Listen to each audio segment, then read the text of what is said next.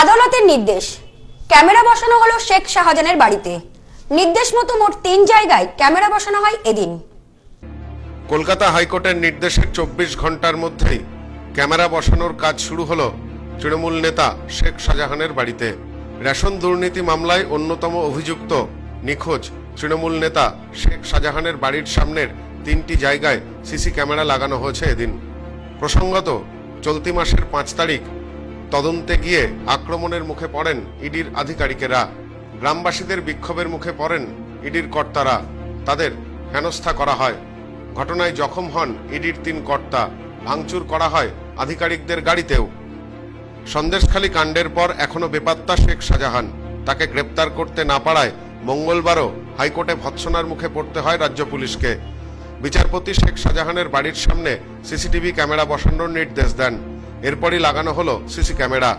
প্রসঙ্গত, গত সোমবার শাহজাহান জানিয়েছিলেন তিনি এই মামলায় যুক্ত হতে চান। এরপর জানা যায়, তিনি মামলায় যুক্ত হলে তাকে ওকালতনামায় সই করতে হবে। তারপরই মামলা থেকে অব্যাহতি চেয়ে নেন তিনি।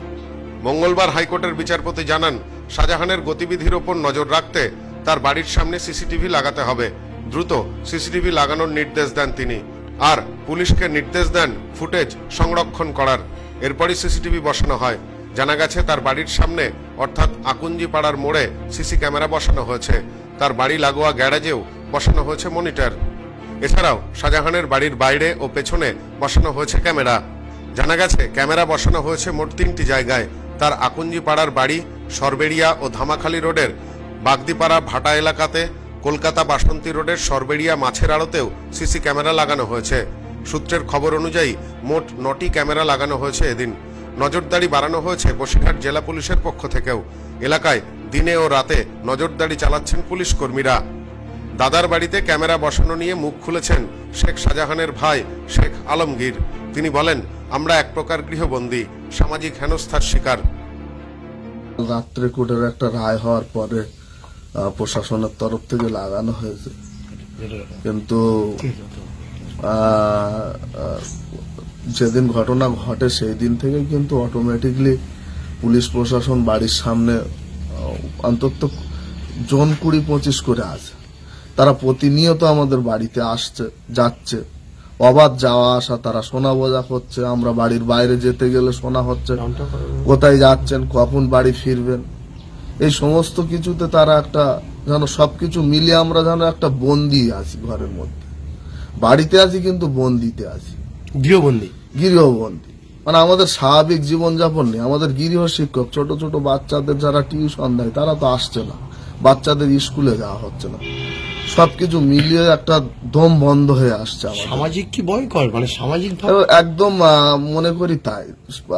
এই বাড়িতে আমরা চার ভাই বাস করি।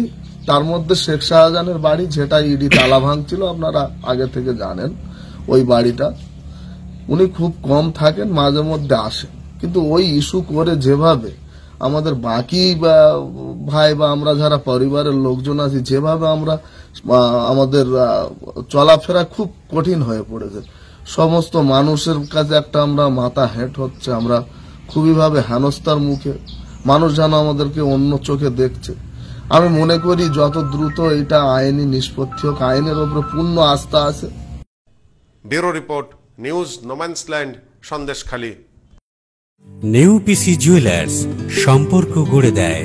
বনগাঁতে আমাদের তিনটি শোরুম প্রতিদিনই খোলা। নেউপিসি জুয়েলার্স বনগা বাটার মোড়। New PC jewellers branch Kumudin স্কুলের বিপরীতে। New PC jewellers beauty Matiganj Hatkhola.